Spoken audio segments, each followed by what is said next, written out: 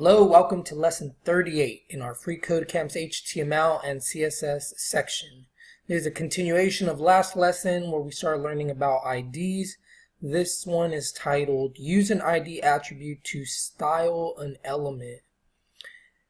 So one cool thing about ID attributes is that like classes, you can style them using CSS.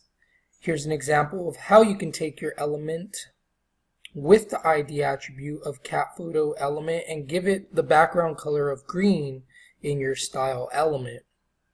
So then here they show us uh, if this is inside our style element then this would be how we select the ID element.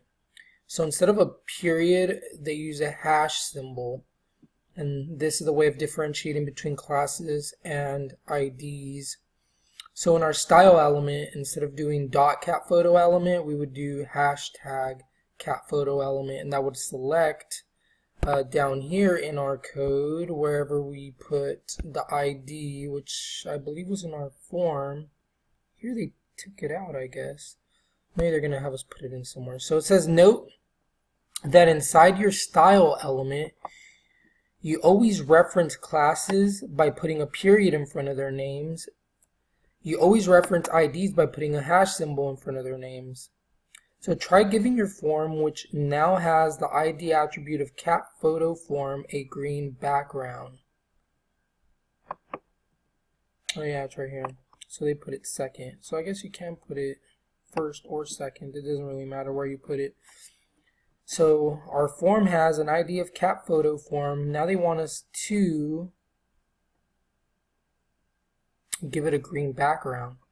So if we come up up here where our style is, this was the last style we had to put in here, this class, silver background. So under it, we would just uh, use our selector, which is the hash symbol, and then put the name of the ID, which is cat photo form and then we want to apply this code to it.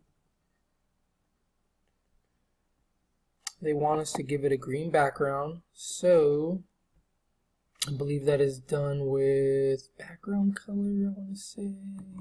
Oh yeah, try it on, try here, background color. So background color colon and we want it green. So, as you can see now, our form down here is now color green and everything within the form. So that was applied to everything. Let's make sure this is all right. Give your form element the ID of cat photo form, which is already done for us. Your form element should have the background color of green, and that's what we did up here in our style. We used our selector to select cat photo form ID, and we apply background color of green to any element with the ID of cat photo form. So that should satisfy this challenge.